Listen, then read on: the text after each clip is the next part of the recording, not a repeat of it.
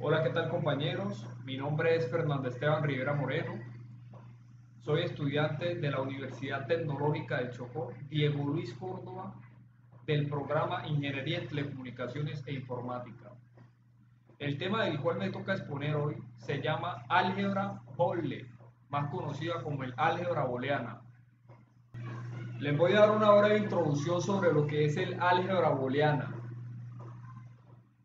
Esta es una rama especial del álgebra que se usa principalmente en electrónica digital. El álgebra booleana fue inventada en el año 1854 por el matemático inglés George Boole. Y es que este es un método para simplificar los circuitos lógicos o a veces llamados circuitos de conmutación lógica en electrónica digital. Por lo tanto, también se llama como cambio de álgebra. Podemos representar el funcionamiento de los circuitos lógicos utilizando números, siguiendo algunas reglas que son bien conocidas como leyes del álgebra de Boole. También podemos hacer los cálculos y operaciones lógicas de los circuitos aún más rápido siguiendo algunos teoremas que se conocen como teoremas del álgebra de Boole. Una función booleana es una función que representa la relación entre la entrada y la, salida del circuito lógico.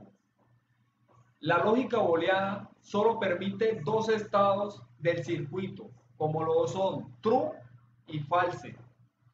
Estos estados están representados por el 1 y por el 0, donde el 1 representa el estado verdadero y 0 representa el estado falso. Lo más importante para recordar en el álgebra booleana es lo que la diferencia entre la matemática regular y sus métodos. Leyes e identidades del álgebra de Boole o álgebra booleana. Al formular expresiones matemáticas para circuitos lógicos, es importante tener conocimiento del álgebra booleana, que define las reglas para expresar y simplificar enunciados lógicos binarios. Una barrera sobre un símbolo indica la operación booleana, que corresponde a la inversión de una señal.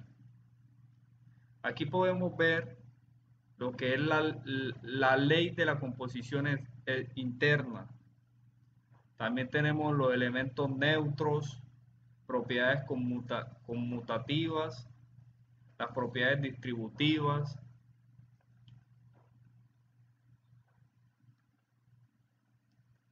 y los elementos inversos o complementarios.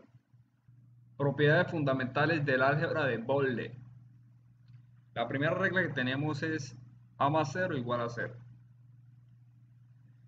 Y en este caso vemos que esta regla es si tienes una variable o en pocas palabras un cable, se la sumas con una puerta que sea de 0 o 5 voltios. Es decir, si A es 0, 0 más 0 es 0, como vemos reflejado en el ejemplo que tenemos ahí. Entonces, si A o B es la entrada ORE, era 1, la salida pues era 1. Pero si 1 es la entrada 0, y la otra 0, pues daría 0. Y si una entrada es 1 y la otra 0, pues daría 1. Es una puerta, esta se abre o se cierra. La segunda regla que tenemos es A más 1 igual 1. Y esta es que si tienes 1 en vez de un 0, porque 1 más lo que sea da 1. Ya no pasa la información, la puerta está cerrada. Este proporciona el valor de una función para todas las, posibles combinaciones de valores de, de las entradas. Puertas lógicas. Las puertas lógicas son circuitos electrónicos que realizan las funciones básicas del álgebra de Boole. En apariencia, las puertas lógicas no se distinguen de otro circuito integrado cualquiera. Solo los códigos que llevan escritos permiten distinguir distintas puertas lógicas entre sí o diferenciarlas de otro tipo integrado. Para cada puerta utilizaremos un símbolo, un símbolo. Identidad, como podemos ver, equivale al producto lógico Z igual a y está representado en la imagen que podemos ver ahí. La puerta NOR equivale al producto lógico Z igual a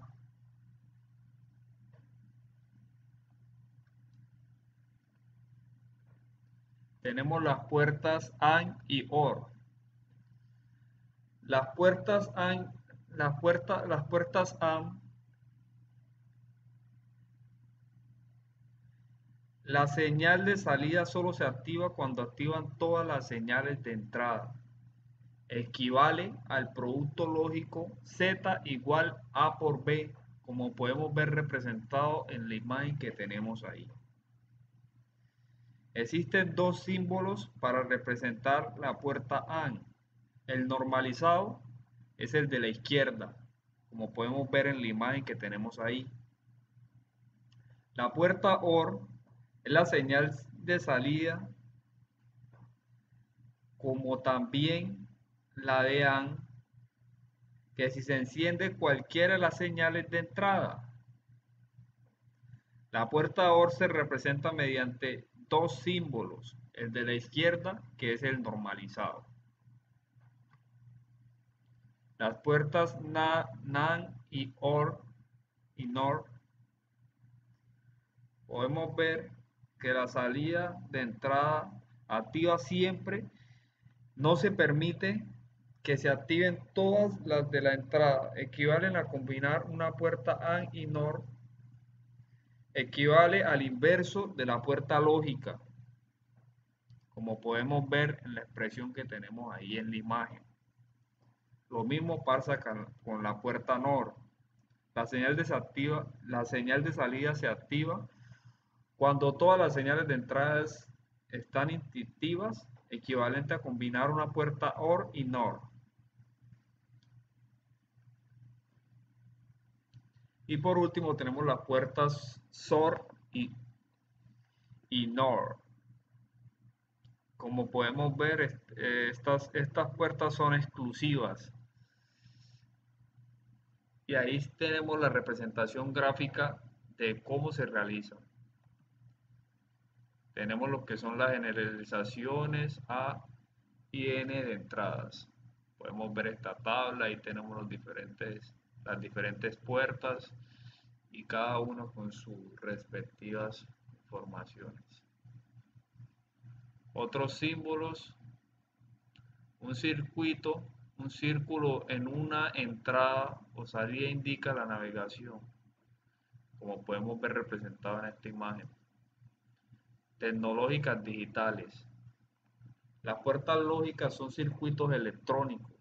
El nivel lógico 0 o 1 se representa mediante un nivel de tensión. Generalmente se utiliza lógica positiva, tensión alta de 5 voltios, 3.3 voltios, 2.5 voltios, etcétera, que equivale a 1. Y la tensión baja es la que trae 0 voltios, es igual a cero. Existen muchas tecnologías según la, la forma en que se realizan las puertas lógicas y, y las características que se obtienen. Familias lógicas. El conjunto de componentes digitales básicos, tales como puertas lógicas y otros que estudiaremos a lo largo del curso, se conoce popularmente como serie o familia 74. existen numerosas subfamilias según el rango de temperaturas de operación. Serie 74 sería de 0, de 0 grados a 70 grados y la serie 54 que sería a menos, menos 55 grados a 125 grados. Según la tecnología usada, LS, ALS, la F, HC, AHC y G. También tenemos la designación de componentes, como es la serie, subfamilias, componentes. Ejemplo, tenemos este ejemplo que es 74HC00 de la serie 74, que sería el rango de temperaturas convencional. La subfamilia CHC, como podemos ver en. Y, y el componente 00 son cuatro puertas NAT de dos entradas. Las subfamilias no son compatibles entre sí, no se deben mezclar componentes de distintas subfamilias en un circuito, ya que generaría algún tipo de problemas. Aquí tenemos las hojas de catálogo, como podemos ver representada en esta imagen. Características de las tecnologías digitales. Las principales características que tenemos sería margen de temperaturas de operación, tensión de alimentación, margen de ruido, intervalos de tensión que se asocian a un nivel lógico determinado, retardo de conmutación, consumo y otros. Cada tecnología o su familia representa valores diferentes respecto a estos parámetros. Los retardos. Las puertas lógicas no conmutan instantáneamente. Como podemos ver en estas imágenes, tenemos el inversor ideal y el inversor real. El retardo limita la velocidad de la operación del circuito, los consumos. Las puertas lógicas consumen energía. La estática es la que más consume por tener alimentada la puerta lógica sin cambiar los valores lógicos y la dinámica es la que consume al conmutar. En la tecnología somos la más utilizada actualmente, el consumo estático es muy pequeño. Sin embargo, los circuitos modernos pueden llegar a tener más de 10 a las 8 puertas lógicas. El consumo dinámico es proporcional a la frecuencia de conmutación. El consumo es un problema importante, ya que la energía consumida se, se transforma en calor que hay que disipar.